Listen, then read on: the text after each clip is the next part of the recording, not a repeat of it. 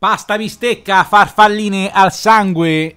Typic Italian style. Tamponiamo la nostra bistecca da eventuale sangue in eccesso. Con il tovagliolo del nonno e prima mi c'ero soffiato il naso perché c'avevo il smociccio. Poi si va a spargere un olio. Eh. Mettiamo un po' di sale, sale grosso, pepe e poi si va a girare dell'altro sale.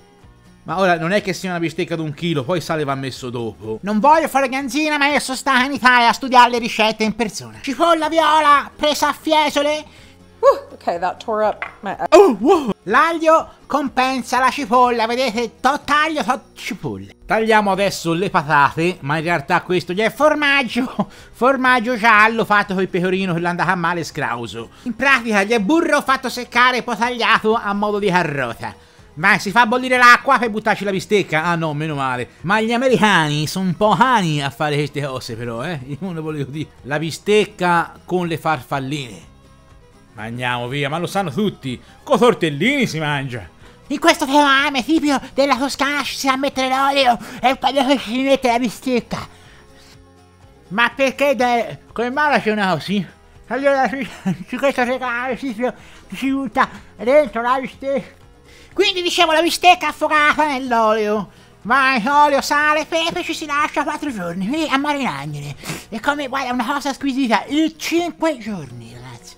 E si va a soffriggere, bistecca fritta, è buona ciabatta fritta. Uh, ecco, chiusa questa aggeggino, di solito la sera prima di andare a dormire piglia anche le goccioline per, per come calmante, perché l'ho visto fare tante volte il termometro per misurare la temperatura della ciccia per vedere se gli è pronta la carne. Vedi se loro gli hanno studiato, gli hanno vedere perché se gli arriva a 24 gradi per fare la reversing per capire e avete anche studiato e vi ci vuole il termometro. Lo sai dov'è che ve lo dovete mettere tra tutti il termometro?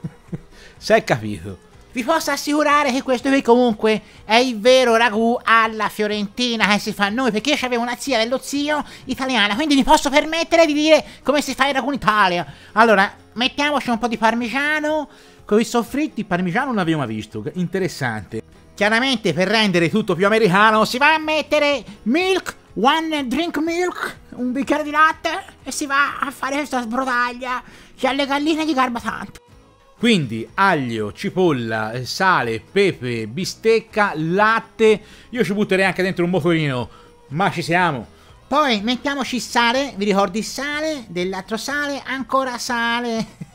Sale, sale, però eh, mi farà a me che, che parla di una volontà, te lo fa vedere io ma che, che, poi... Ma perché poi gli americani quando parlano devono fare così?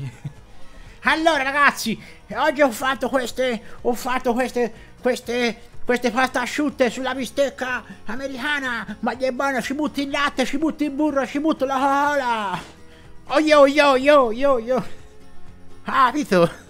Poi dice siamo noi italiani e si gestiola, va, garbati loro, eh. Oh vai, pranzo domenicale, tipic Tuscany.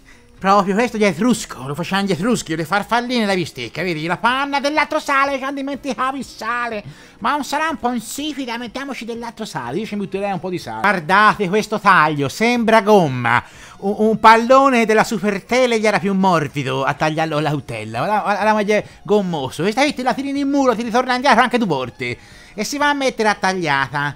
So, mm, guarda, il pranzo della domenica toscana. Mm. Is, is, is, is, non mi viene parole, guarda. Madonna, che cagata. Che cagata, ragazzi. Che cagata ai cane. Ma va a mangiare il tacchino ripieno con le, con, con le castagne e, e, la maionese e la marmellata e nel culo ti ci do una pedata, maremma per sta. Non ci vieni a rompere a noi Italia, stai tipiche. Ma in dove? Ma in dove tu l'hai vista sta ricetta in Toscana? Ma mi dici in dove? Ma guarda, e poi via, guarda, mi sono belle... Eh.